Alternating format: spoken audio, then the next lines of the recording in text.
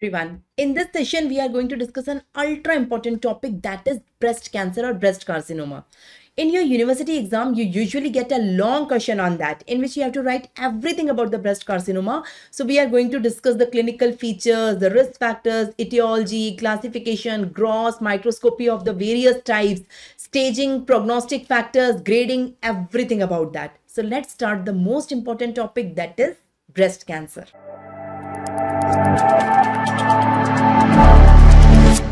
So here you can see we are starting the topic that is breast carcinoma. So I will be discussing the breast carcinoma under following headings. So you have to learn the overview because if it is coming in your university exam, you must understand under what headings, under what headings or subheadings you have to frame your answer.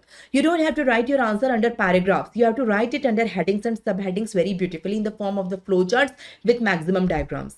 So first of all write down the introduction of the breast cancer. Then write down the most common age of presentation. Then write down the clinical features of the breast carcinoma. Then write down what is triple technique to diagnose it. Then what are the risk factors? I will be discussing 11 risk factors and explain each of them. What is the risk factor? How it is increasing the risk of the breast cancer? Then write down down the classification. From that classification, four are ultra important that I will discuss the gross and microscopy of each of them. That is ductal carcinoma in situ, lobular carcinoma in uh, situ, infiltrative ductal carcinoma and infiltrative lobular carcinoma. For each of them, all these four, we will be seeing the gross and microscopy for them in detail. Then we will see a special variant of the breast cancer that is Paget disease of the nipple. We will see this in detail and sometime you get a short question separately on the Paget disease of nipple in your university exam. Then we will see latest classification, the molecular classification. You get a short note on this also separately. Then we will see the TNM staging and finally the prognostic factors. So it's a long question. If it is coming in your exam, you have to write down everything about that. So under these headings, we are going to frame our answer, the breast carcinoma. Let's start with the introduction of the breast carcinoma. Breast carcinoma is the most common cancer of the females in the world. It is the cancer in the females mainly it occur in the males it's very rare you can see in the males it's very rare. It is more common in the female. Uh, male is to female ratio is 1 is to 150 so if it is occurring in 150 female then it can occur in one male also. Rare of the rarest it can occur in the male but it can occur. What is the most common age of presentation in female? In female the most common age of presentation is perimenopausal. What do you mean by perimenopausal? Usually menopause occurs at 50 years we consider.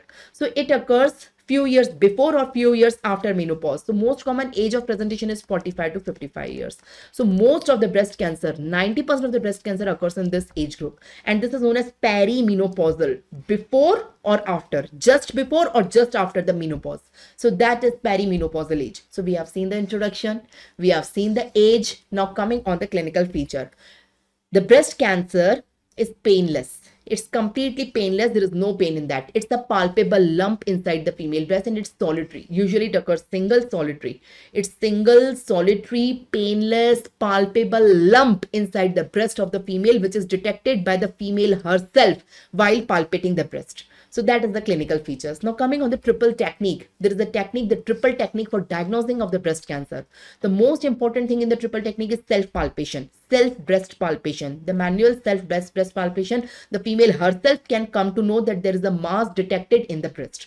So that is palpation. After that, the mammography should be performed in the mammography we can see the mass we can see whether it is benign whether it is malignant and finally we have to perform FNAC what is FNAC fine needle aspiration cytology in which with the help of a fine needle we have to aspirate few cells uh, out of the out of that lesion and we have to make a smear and we have to see whether it is benign or malignant. If it is malignant we have to uh, do the surgery earliest and we have to start the treatment. Okay that is FNAC so what is the triple technique? In the triple technique three things are there. Number one palpation. Number two mammography. Number three FNAC so you can understand this is triple technique. So we have seen the introduction.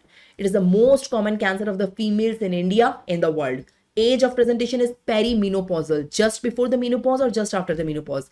Clinical feature it's painless. Palpable lump solitary lump in the female breast. And triple technique in triple technique three things are there for diagnosis. Number one self palpation number two mammography. And number three FNAC fine needle aspiration cytology. Now coming on the risk factors for the breast cancer.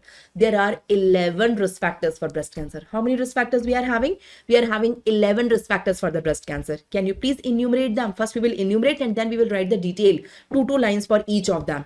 So in your exam also you have to write one to one two lines on each of them the first is geographical